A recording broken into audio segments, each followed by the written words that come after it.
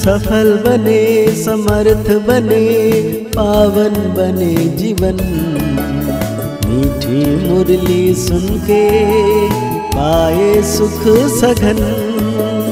आज का चिंतन, आज का चिंतन। ओम शांति। Good morning. प्यार का सागर शिव बाबा आज हम बच्चों को कह रहे हैं, देह सहित सबकी याद भूल। बाप जो है, जैसा है, उसे यथार्थ पहचान, स्वयं को बिंदी समझ, बिंदु रूप से बाप को याद करो। साथ में आज बाबा हम बच्चों को पूछ रहे हैं, कौन सा ज्ञान इस समय बाप से ही तुम्हें मिलता है और कोई दे नहीं सकते? कौन सा ज्ञान? भागते तुम स्त्री पुरुष साथ में रहते हैं, गृहस्थ व्यवहार की संभाल करते हैं, पवित्र रहो। यह ज्ञान अभी इस समय बाप तुम्हें देते हैं, और कोई यह ज्ञान दे नहीं सकता। तुम्हें दान तो पाँच विकारों का करना है, लेकिन मुख्य है काम जिस पर पूरी विजय पानी। है सर्वशक्तिमान बाप की याद और श्रीमत पर चलने से ही यह ताकत मिलती। है बाबा ने बहुत प्यारा सा गीत याद किया है। दुखियों पर रहम करो माँ बाप हमारे, हो दुखियों पर रहम करो माँ बाप हमारे। कहते हैं, वही बाप बैठ बच्चों को समझाते हैं। कौन है ये बाप ये बच्चे जानते हैं, जिनके सम्मुख बाप बैठे हैं। अब तुम बच्चों की बुद्धि का योग बेहद के बाप की तरफ़ है। बुद्धि का योग अभी हद के बाप से तोड़ना है और बेहद के बाप से जोड़ना है, क्योंकि माया भुला देती है। देह अभिमानी बना देते हैं। यह तुम बच्चों का पाठ है। अभी तुम जानते हो, बाबा कलप कलप आते हैं बाबा कैसा है? यह भी बुद्धि में धारण करना है। मनुष्य ने तो शिवलिंग का बड़ा चित्र बना दिया है। और सभी के चित्र तो ठीक है, जैसे ब्रह्मा, विष्णु और शंकर का चित्र भी ठीक है।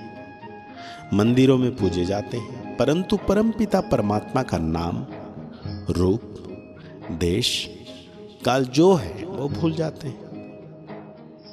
चित्र भी भूल जाते हैं। अभी तुम बच्चों को समझाया जाता है कि आत्मा बिंदे रूप है।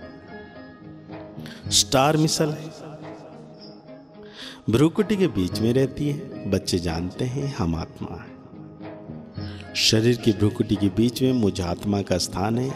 ये तो सब मानेंगे। परमात्मा कहते हैं, मैं भी बिंदी हूँ। कहाँ कहाँ बहुत बड़ा लिंग भी रखते हैं। नहीं तो बिंदी की पूजा कैसे हो सके? पूजा तो ज़रूर बड़ी चीज़ की होगी ना। तुमको अभी बिंदी रूप समझाया है। इन बातों को मनुष्य तो समझ ना सके। तुम बच्चों को भी पहले यह समझ नहीं थी। अभी जब परिपक्व अवस्था हुई है तो समझते हो यह यथार्थ बात है। अगर शुरू से लेकर बाबा भी समझाते हैं तो हम समझ नहीं सकते, क्योंकि बिंदी कोई चीज़ तो नहीं है।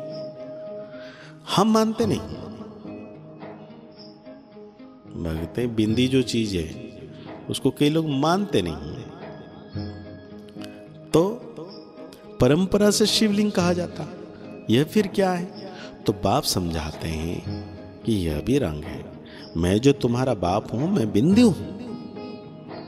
तुम्हारा भी बिंदु रूप है। परंतु पूजा आदि के लिए बड़ा शिवलिंग बनाते हैं। क्योंकि बिंदी की तो पूजा हो ना सके। आत्मा देखने में भी बड़ा मुश्किल आती है। यह समझने की बड़ी गुह्य बात है। आत्मा भी बिंदु रूप है। इस छोटी सी आत्मा में चौरासी जन्म का पाठ है। एक सेकंड ना मिले दूसरे सेकंड से। तो तो हैं यह है, पढ़ाई। है भी बहुत सहज, लेकिन क्या है, पढ़ाई है। यह बाप ही समझा सकते हैं, कोई मनुष्य नहीं समझा सकते। बरोबर इतनी छोटी, परंतु नाम कितना बड़ा रखते हैं, ज्ञान का सागर। तुम कहते हो, मनुष्य सृष्टि, बीज रूप चैतन्य है, सत्य है, अविनाशी है। कहते आते हैं, परंतु किसी की बुद्धि में नहीं आता है। वो क्या वस्तु है? गुण तो बहुत अथाह गाते हैं। अभी तुम बच्चे, बाप के सम्मुख बैठे हो। जान गए हो? आत्माएँ तो सम्मुख ही हैं। सब आत्माएँ ब्रदर्स ही हैं। कितनी छोटी छोटी बिंदी है, विचार करो। मूल वतन का हम जो चित्र बनाते हैं, उसमें बिंदु रूप ही दिखाते हैं, जैसे स्टार्स आकाश तत्वों में ऊपर खड़े हैं। वैसे ही महत्व में भी हम ऐसे स्टार माफिक अपने अपने सेक्शन में खड़े होंगे। झाड़ छोटे छोटे स्टार्स का बना हुआ है। वहाँ से फिर आत्मा आती है, शरीर धारण करती है पाठ बजाने के लिए। कैसे नंबर बार आत्माएँ आती है यह सारी बुद्धि में चलनी चाहिए। हर एक धर्म का सेक्शन अलग होगा। बाप दृष्टांत दे समझाते हैं बेनन ट्री का भी मिसाल समझाते हैं। बिंदी बहुत जगह चलती है तो बच्चों को हिंदी भाषा में समझाना पड़ेगा। परंतु परमात्मा भी हिंदी भाषा में ही समझाते हैं। क्योंकि हिंदी बहुत जगह चलती है। आजकल जहाँ तहां इसका प्रचार करते हैं, एक भाषा होना तो मुश्किल है, कोई समझते हैं। परमपिता परमात्मा तो सब भाषाएँ जानते होंगे, परंतु ऐसा तो हो ना सके। भाई, जिनके तन में आए, जिनको जो भाषा आता है, वही बोलेंगे। बीज और झाड़ का राज समझाना तो बहुत सहज है। मनुष्य सृष्टि का झाड़ बहुत धर्मों का है, समझते भी हैं। फलाना धर्म था। तो फलाना धर्म नहीं था। अभी छोटे छोटे धर्म निकलते हैं, आगे तो नहीं थे ना। छोटी छोटी शाखाएँ तो अभी निकली है। यह तुम बच्चे जानते हो, और कोई नहीं जानते। आत्मा और परमात्मा का बिंदु रूप नहीं जानते। अभी बाबा ने तुम बच्चों को आकर समझाया तुम कहते हो, बाबा हम आपके बच्चे हैं। कल पहले भी आपसे मिले थे। आपके बच्चे बने थे। अब फिर से बने हैं। किस लिए? वर्षा लेने के लिए। तो बाप कहते हैं, तुम हमारे हो, गोया एडप्ट किया मुख वंशावली बने। तुम सब एडप्टेड हो। बाबा कहते हैं, बच्चे जानते हैं, बाबा की इस राजयुग की शिक्षा से हम बरोबर क्या बनेंगे? देवी देवता पद पाते हैं। तुम पुरुषार्थ करते हो, हम तो नर से नारायण ही बनेंगे। बाप का बारिश ज़रूर बनेंगे तक नशीन बनेंगे, ये संकल्प रख पुरुषार्थ करते हैं। तो आज बाबा हम बच्चों को धारणाओं में कहते हैं, दिल से बाप को याद कर, जायदाद की खुशी में रहना है। पूरा पावन ज़रूर बनना है। विचार सागर मंथन करना है। आत्मा कितनी छोटी है और उसमें कितना अविनाशी पाठ नोंधा हुआ है। बिंदु बन बिंदु बाप की याद में रहना है। तो आज बाबा हम बच्चों को वरदान दे रहे हैं। स्वेच्छा और दृढ़ संकल्प से एक देकर पदम लेने वाले चतुर सुजन भवों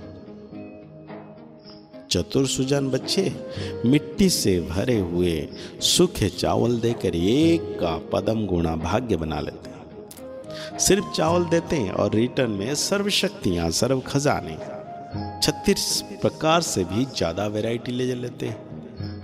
परंतु कई बच्चे वो भी देने के समय सुदामा के मिसल, कच्छ मतलब बगल में छिपा कर रखते हैं। बाप खींच कर ले सकते हैं, लेकिन खींच कर लिया तो उसका रिटर्न इतना नहीं मिलेगा। इसलिए स्वेच्छा और दृढ़ संकल्प से एक देकर पदम लेना। यही चतुराई है। इस देने में ही कल्याण है। तो बाबा, आज हम बच्चों को स्लोगन दे रहे हैं, साक्षी बन, न्यारे होकर हर खेल को देखने वाले ही साक्षी दृष्टा है। तो आज की मुरली के अनुसार हम सो मान लेंगे। मैं, दृढ़ संकल्पधारी चतुर्श जानात्मा हूँ मुरली को और गहरी रीति से चिंतन करते हुए निरंतर सर्वशक्तिवान परम पिता परमात्मा को अनुभव करना है कि परम सितारा सदा मेरे मस्तक के ऊपर है। छत्र छाया के रूप में मुस्कुराते रहिए, आगे बढ़ते रहिए, पुरुषार्थ करते रहिए। खुश रहें। स्वस्थ रहें मस्त रहें। ओम शांति।